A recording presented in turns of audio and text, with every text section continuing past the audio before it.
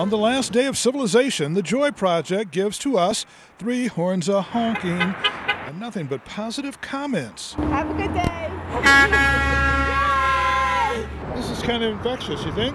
I absolutely think it's infectious. I think, I mean, I feel like when you come out here, you always have a, we always have a good time. We always feel really good after we come out here. Camilla Modisette is the harbinger of positivity. And then I think there's also people who, you know, are kind of like confused by what we're doing, but that's okay too. Totally you know? confused. Totally confused. Yeah. Like, why are you doing this? Are you protesting? Are you Right. demonstrating? It's awesome, and people just uh, they love it. And when they stop, they ask why you're doing it, and we're like nothing. And they're like, "What are you with? Are you with somebody? Are you, do you need something?" And we're like, "No." And people just can't handle it. It's so great.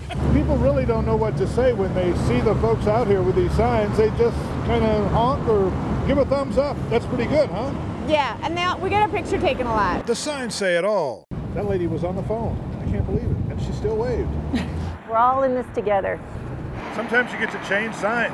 Why do they do it? To spread goodwill, tell everybody that they're awesome and great because they don't get to hear it.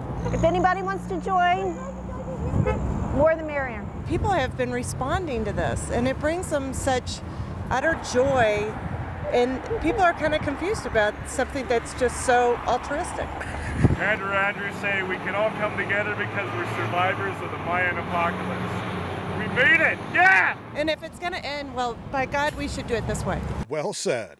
At the Capitol, Jon Bowman, Fox 31 Denver.